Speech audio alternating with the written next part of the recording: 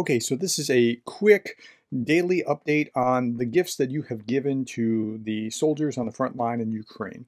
Um, so I, am just going to show you something very briefly. This was yesterday. Uh, the van, uh, as Johnny uh, Pierce and Greg were talking about this, uh, the van was delivering. And then and indeed, the net. Oh, sorry. Yeah, play the next one. Here you go. This is our organization headquarters. Let me ask you a question. You were making a statement a minute ago that makes you even feel good that you're helping somebody. Absolutely makes me feel real good helping somebody needs help.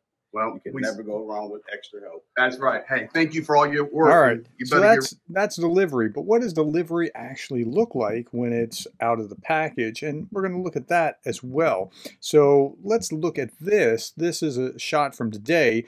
Now remember, things are just getting there. In fact, what I sent just got there late this afternoon. I'm not exactly sure that it's even in the pile yet. Here we go. And, and, and I w- and I was like the first person to buy something because I created the video and then I went and bought myself probably before anybody else actually saw the video. So if it's not there yet, it's building. It's all coming in. It's starting. Update for today. As you can see, guys, uh, we've had quite a few large shipments coming today. So being processed and stacked.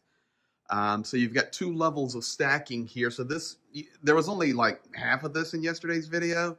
And then you come down here and loaded. And then this happened yesterday and now it's happened again. So we are here and I'll just take a walk around. We're in the process of organizing, stacking, and continuing to run out of room. Now, it's only 3:37 local Eastern Standard Time here, so really good chance another delivery or two coming in today. And uh, oh my my my my my my.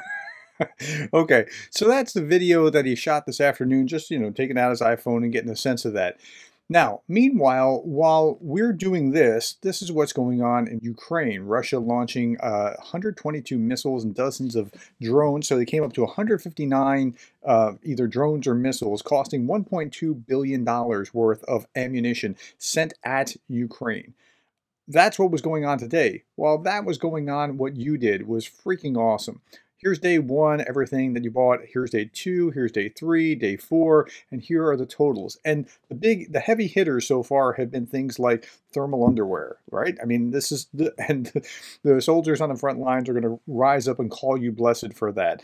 Uh, chest seals, you're saving lives, like literally saving lives with that. Uh, uh tourniquets, I mean, those are some of the, the biggest things.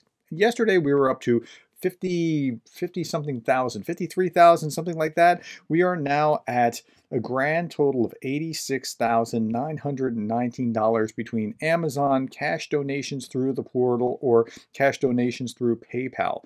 86,000, almost 87,000, and that's of a few hours back. So I'm, i would imagine it's clipped up beyond that. I want to say some big thank yous to those of you that are friends of the channel uh, or channels. Actually, this is multiple channels because it's like Greg's channel, and then I've just come, come and hooked my locomotive to it, and then so did Warthog. Here's Warthog talking about it and introducing guys, it to his viewers. This is a different type of story. Here we are going to show you a great man and YouTuber, Greg Terry, he is talking to a dear friend, Professor Darin Gerdes, how they are working to raise donation and supplies for Ukraine. We can tell you that Terry does amazing work. He raised $250,000 so far for Ukraine.